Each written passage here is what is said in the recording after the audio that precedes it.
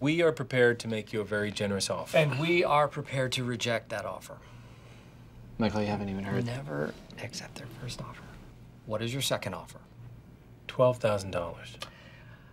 Are you kidding me? That is insultingly low. I don't even want to hear what your first offer was.